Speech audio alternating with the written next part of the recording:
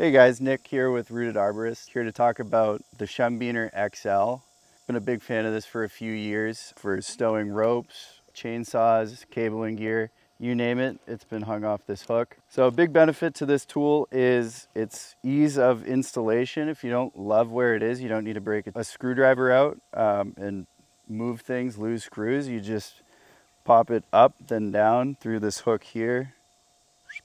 Another benefit is this termination loop for your your saw lanyards. It's important to note you want a small one so you can't slide the, the carabiner over the top of the hook. Things get kind of messy that way.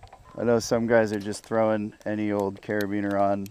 Sadly, you got to think about it a little bit. Racking your tool once you're done with it when your carabiner is inverted gets a little stressful sometimes. Dropping my rope, excuse me. Another big benefit to this tool is the, uh, the rope storage. When you're limb walking, you need to um, tip tie out or mid tie any inconvenient distance walking with a rope. This is great storage. You just toss your slip knot in, little half hitch underneath, and then pop it right through the hook.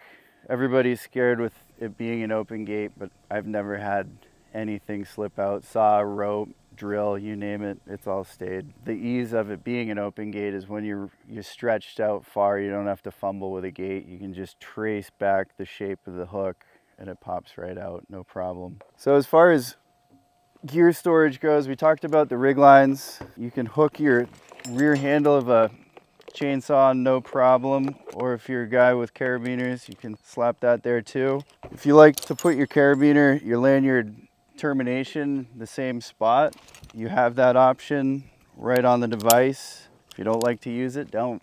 so its sizing is four and three quarter inch long by three inches wide. It's on the bigger side of the Caritool holder spectrum, but it's really not big enough to get in your way at all.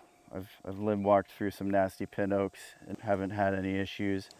Its weight is 1.58 ounces. It's probably on the lighter side. I haven't actually looked at the vaults or the Caritools, the Petzl um, Caritools, but from my experience just handling it feels like it's on the lighter side. It's a fairly inexpensive item. It's 45 bucks at SherrillTree or Amazon, tree stuff, wherever you decide to get your, your tree goods. Support the locals though, am I right? Appreciate you watching. Take care guys, see you next time.